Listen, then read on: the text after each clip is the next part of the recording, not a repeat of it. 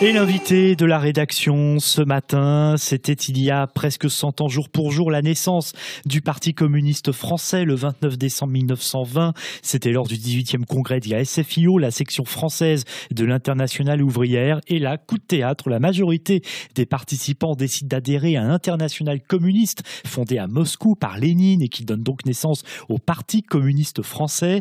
La formation va connaître hein, une ascension fulgurante. Elle a fait partie notamment du Front populaire en 19 1936 dans le gouvernement dirigé par Léon Blum, euh, devient même le premier parti de France au sortir de la Deuxième Guerre mondiale, mais connaît à partir des années 60 une lente érosion et un déclin électoral. Aujourd'hui, le Parti communiste français compte 50 000 adhérents.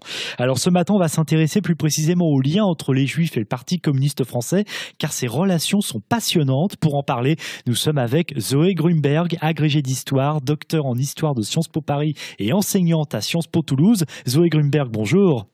Bonjour. Merci d'être avec nous sur Radio J. Euh, j'ajoute, hein, puisqu'on va en parler, que vous êtes aussi l'auteur d'une thèse sur le secteur juif du Parti communiste français après euh, la Seconde Guerre mondiale, c'est-à-dire plus précisément sur les organisations juives communistes issues de la main-d'œuvre immigrée. D'abord, Zoé Grunberg, euh, ce qu'il faut dire, hein, c'est que peu de temps après sa création en 1920 au Congrès de Tours, le Parti communiste français a été une formation très populaire hein, chez les juifs français. Pour quelles raisons et, et comment cela s'est manifesté? Alors, euh, le PCF attire effectivement euh, beaucoup de juifs, donc il faut distinguer parmi eux à la fois les juifs euh, français, c'est-à-dire les juifs israélites présents en France depuis déjà de longues, de longues années, qui sont membres du PCF, mais dont il est assez difficile de connaître le nombre et dont j'ai moins suivi les, parcours. Hmm. Mais le PCF attire surtout beaucoup de juifs issus de l'immigration, hmm. d'Europe centrale et orientale, de Pologne notamment, des juifs yiddishophones, mais pas que, euh, la plupart d'entre eux étant déjà militants communistes dans leur pays d'origine.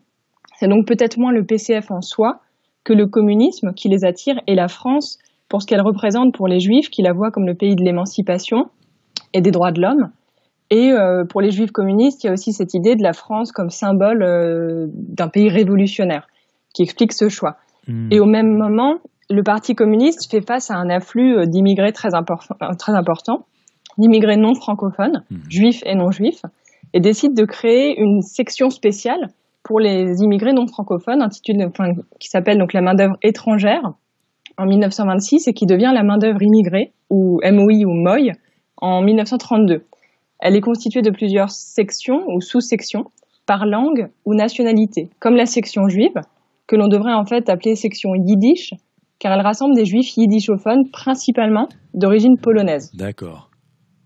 D'accord. C'est-à-dire qu'en fait, il y avait vraiment, euh, c'est-à-dire qu'en gros, au Parti communiste français, au sein de cette main-d'œuvre émigrée, il y avait en gros des secteurs où on classait en quelque sorte un petit peu les, les catégories, les populations, et, du coup, bah, elles étaient, euh, elles étaient, on va dire, unies. Enfin voilà, selon ce, ce, voilà, selon le principe de l'international, c'était un petit peu comme ça que ça fonctionnait, avec des réunions qui étaient organisées. Euh. Oui, alors en fait, cette idée, c'est que la MOI doit être un peu un sas vers l'intégration. C'est-à-dire mmh. que le PCF prend acte du fait que beaucoup d'immigrés ne parlent pas la, langue française parfaitement et ne risquent, difficilement de s'intégrer dans des cellules françaises avec des ouvriers français. Et donc, euh, la MOI doit, permettre, doit leur permettre de militer parmi les, voilà, les militants de leur langue, de diffuser le communisme aussi parmi les masses, en l'occurrence les masses juives, mmh. euh, tout en participant, et c'est là le problème, en même temps aux cellules du Parti communiste français. Oui. Et ce que le PCF constate, c'est qu'en réalité, pour diverses raisons, qu'elles soient linguistiques, mais aussi euh, les problèmes xénophobes en France dans les années 30, mm. c'est que la plupart des immigrés de la Moye, à savoir 70% en 1937, ne sont pas membres des cellules du PCF. Mm. Et donc il y a cette tension constante entre un PCF centralisateur qui envisage la Moye comme un, quelque chose de temporaire et euh, ces immigrés qui, assez logiquement, tendent à s'autonomiser de la tutelle du PCF et à avoir leur propre agenda politique. Hmm. Le PCF donc a joué un, grand rôle, hein, on l'a compris, dans l'intégration euh, des immigrés juifs en France. Le parti, hein, je le rappelle, a été euh, dissous hein, pendant euh, la, Seconde Guerre mondiale, mais a poursuivi bien sûr, a poursuivi ses activités dans la clandestinité plus précisément. Et ce qu'il faut savoir, c'est que, eh bien, il y a eu une sorte de réintégration après la Shoah, et c'est là donc bah, qu'on va parler du sujet de votre thèse sur cette thèse que vous avez consacrée sur la période de la libération aux années 50 du secteur juif. Alors, de quoi s'agit-il précisément?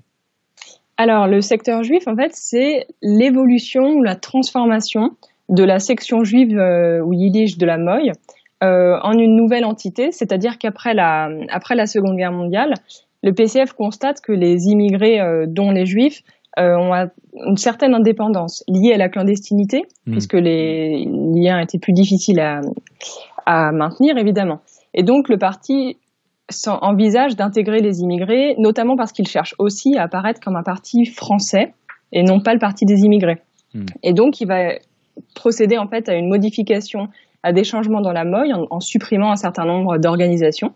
Et c'est là qu'en fait les juifs euh, yiddishophones euh, vont tenter de négocier avec le Parti communiste français en expliquant euh, que supprimer des organisations yiddishophones fait courir un vrai risque au communisme parce que c'est laisser le terrain en fait aux bundistes et aux sionistes qui risquent de, séduire les masses juives entre guillemets. Et donc il faut maintenir des organisations yiddishophones communistes. C'est l'argument qui convainc le, Parti communiste, qui supprime un certain nombre d'associations euh, créées par les juifs communistes, notamment pendant la Seconde Guerre mondiale.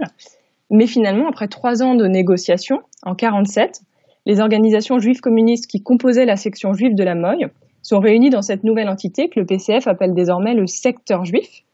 Euh, alors au sein du secteur juif, on trouve euh, une organisation assez connue, c'est l'Union des Juifs pour la résistance et l'entraide, mhm. euh, qui est la principale, autour de laquelle gravite en fait une galaxie d'associations mutualistes, syndicales, culturelles, des associations d'anciens combattants, résistants et déportés juifs. Tout ce petit monde-là est organisé autour du 14 rue de Paradis et réunirait jusqu'à 20 000 personnes après-guerre. Euh, c'est un nombre qui agrège aussi bien donc les, dirigeants, les militants, les adhérents, leurs familles et leurs enfants sans doute, hmm. mais ça représente quand même 10% des juifs de France après-guerre. 10%, pas... ouais. Oui, c'est quand même assez conséquent. Hmm. Alors c'est une nébuleuse, effectivement les militants sont bien moins nombreux, euh, les militants actifs, mais ça, ça, donne un peu une idée de l'importance hmm. dans ces années-là des juifs communistes.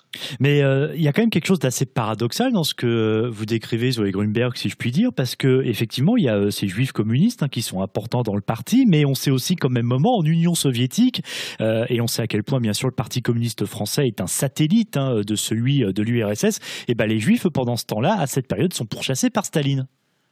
Alors effectivement, et c'est là que que les problèmes commencent, si on peut dire. Donc, euh, dans les années, au début des années 50, donc il y a ce, donc le, le procès de Prague, effectivement, qui cible des Juifs, le complot des blouses blanches, et le, le Parti communiste suit, français suit la ligne de l'URSS et estime qu'il n'y a pas d'antisémitisme. Et les Juifs communistes, à ce moment-là, euh, nient tout simplement l'idée d'un antisémitisme en URSS, parce qu'en fait, ils sont incapables de le penser si vous voulez. C'est ça, là, ils ont tellement d'espoir dans l'URSS qui est censé avoir aboli l'antisémitisme, etc. Et donc, le début des années 50 est un moment euh, de rupture important dans le monde juif français. Un certain nombre de personnes prennent leur distance avec les juifs communistes, donc un certain nombre d'adhérents, et surtout les juifs communistes qui parvenaient jusqu'alors, avec bon, plus ou moins de difficultés, à travailler main dans la main avec des organisations juives non communistes, euh, sont alors isolés dans le monde juif. Hmm. Et ce monde juif se divise durablement en deux camps, euh, les communistes d'un côté et les non-communistes de l'autre. Donc dans les années 50, au début, les juifs communistes suivent la ligne du PCF. Est-ce qu'il y a aussi un lien euh, à cette période-là, parce qu'on parle aussi des années 50, avec la création de l'État d'Israël. Est-ce que cela, justement, euh, cette, cette fondation de l'État en 48 va fissurer en quelque sorte un peu plus les, les Juifs de France entre bah, les, les, justement les, les, ceux qui sont au Parti communiste et ceux qui ne le sont pas? Alors justement non, ce qui peut paraître assez étonnant, enfin oui et non. Euh, c'est-à-dire que l'URSS soutient d'abord la création de l'État d'Israël, donc le PCF aussi, mhm. euh, même s'il souhaite évidemment un État binational, etc. Et donc les juifs communistes, au début, sont sur la même ligne que les autres juifs de France, euh, c'est-à-dire qu'ils saluent la création de l'État d'Israël, avec une petite subtilité quand même, c'est que tout en, en estimant que cet État doit être créé pour accueillir les, voilà, les survivants de la Shoah, euh, il lutte contre le sionisme politique au sens où il estime que les juifs doivent quand même, si possible, pour ceux qu'ils peuvent, rester en diaspora. C'est là un peu la différence entre euh, les juifs communistes et les autres. Et mmh. c'est ensuite seulement dans les, au moment où l'URSS change de position vis-à-vis d'Israël que les juifs communistes vont être dans une situation un peu plus complexe, mais ils ne vont jamais, euh, si vous voulez, critiquer l'existence d'Israël. Ils sont pour cette existence, ils saluent son avènement, mais En revanche, à partir d'un certain moment, c'est-à-dire dès 49, ils ne vont cesser de critiquer la politique israélienne. Mmh. Merci beaucoup, Zoé Grunberg, agrégée d'histoire, docteur en histoire de Sciences Po Paris, enseignante à Sciences Po Toulouse. On aurait pu parler aussi hein, euh, pour ce qui s'est passé à partir des années 60, 70, hein, où on sait évidemment que, euh, bah, compte tenu du recul progressif électoral du, Parti communiste français, il y aurait aussi euh, beaucoup de choses à dire. J'ajoute hein, justement par rapport à, tout cela que vous donnez une visioconférence sur le secteur juif du Parti communiste français après la Deuxième Guerre mondiale. Ça sera à la Maison de la Culture Yiddish le samedi 16 janvier à 17h, donc dans deux semaines et demie, hein, le, 16 janvier. on peut retrouver toutes les informations pour s'inscrire sur le site programme.yiddish.paris. Merci beaucoup, Zoé Grunberg, d'avoir été avec nous.